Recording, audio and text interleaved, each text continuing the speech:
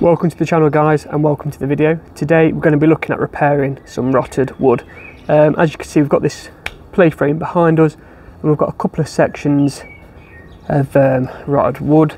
Got one here and another little one starting there so I thought while we're tackling the big one we might as well crack on and prevent that from getting any worse. So we're going to do it in two parts. Step one is using the Ronseal wet rot wood hardener. Um, this is a liquid, it's clear, and basically it just really makes the wood nice and tough and it stops it from rotting further. And then once that's completely dry, we're going to go over it with the Ronseal wood filler. Um, it does actually say to use these hand in hand.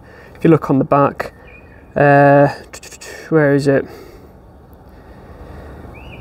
Fill the damaged area with high performance wood filler, and that's exactly what that is. So they are actually meant to be used together, just bear that in mind. Obviously, another wood filler probably will work, but it's always nice to do exactly as it says. So, first step is to get rid of any rotted wood, so we're going to do that now. So, job number one is to get rid of any bits of rotted wood that are still in there, anything that's damp. We just want to scrape it all out. As you can see how easily this crumbles um, it won't work if all that is still sat there. You can use anything really, I'm just using bit of a screwdriver, just going to scrape that out.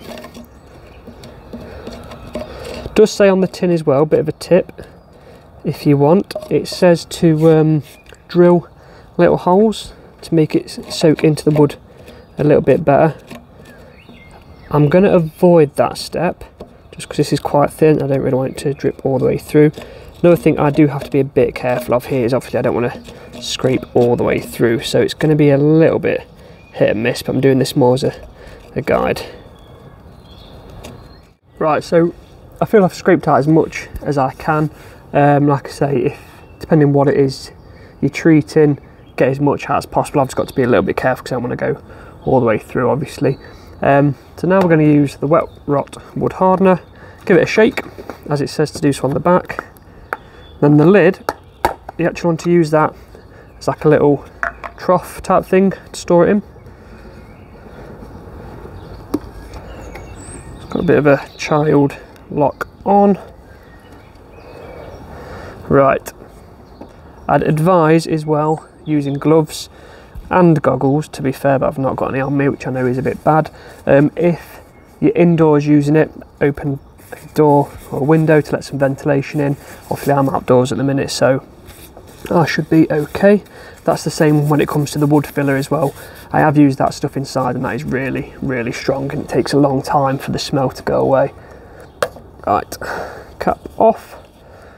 So what we're to do is just pour a little bit into here. There we go. And the next tip, use an old brush. It says on the tin to clear your um, your tools after use, but you will not be able to use to um, clean them.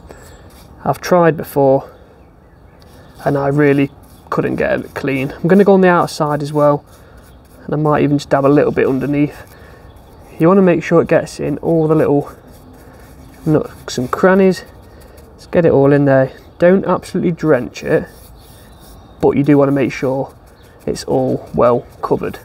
I'm just going to do like the little edges, like I say. Dab it in. Just make sure you've got absolutely everything. I've still got a few little loose bits of wood in here, that shouldn't be a problem. But obviously try and scrape out as much as you can. Just going to put a little bit more on this edge. And I might just run a little bit underneath, not that I'll be able to see because that crack has gone all the way through to the bottom, which is again is why I didn't want to um, scrape too much out. Right, so I'm going to let that dry, and then we're going to come back, and that's when we're going to go over it with the um, the wood filler. So we've given it a couple of hours. It's all dry now. It's nice and firm. So next stage is using the Ronseal High Performance Wood Filler. I'm not sure how many colours it comes in. I know you get like a clear natural, and we've gone for dark just because obviously we're on outdoor furniture. So brand new packet. What you do, you get two separate bits. You get a little mixer or an application tool, a little pack of hardener because you only need a tiny amount of that, and then in here we've got the filler itself.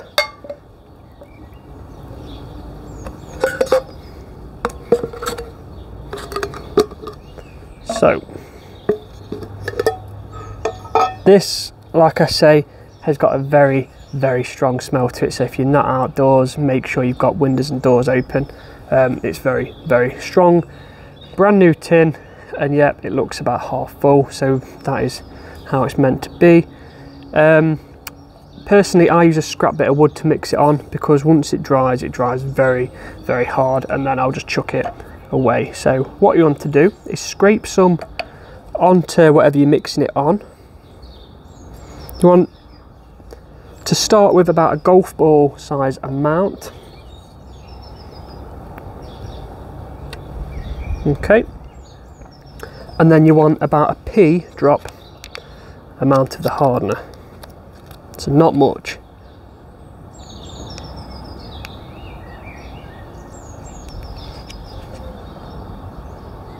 There we go. Um, the more hardener you use, the quicker it will set. So bear that in mind. And what you want to do now is just mix it up until it's all the same colour.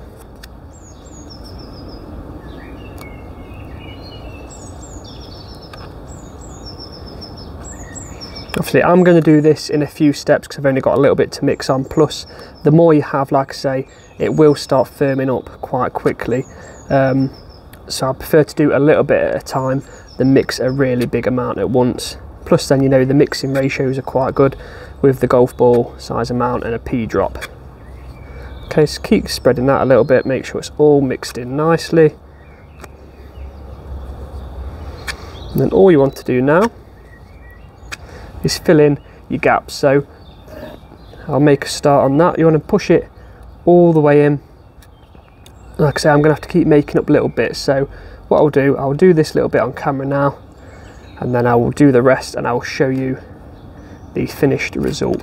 What you want to do though, is make sure it sits a little bit higher than the surface. It does depend what you're fixing, I suppose. If you're not that bothered, if it doesn't need to look perfect, like this is outdoor equipment, so it's not the end of the world. My main concern is getting it all pushed in the little gaps.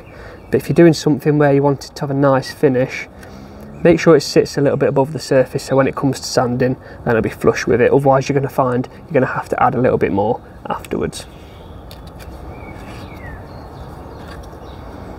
Try and clean up as you go as well. Again for me it's not too much of an issue because of what I am uh, applicating it to. But again if it's something where you want it to look neat when it's done it dries absolutely solid so bear that in mind.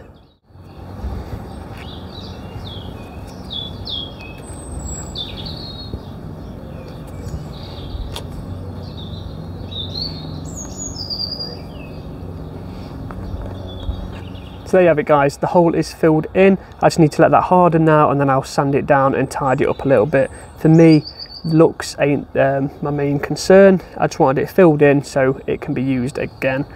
In terms of your tools afterwards, if it's something you want to reuse in the future, get it cleaned up straight away. Use a bit of white spirits if it's not coming off. Um, any other questions, please feel free to ask. Pop it in the comments and I'll get back to you. Hope this video has helped and I'll see you next time.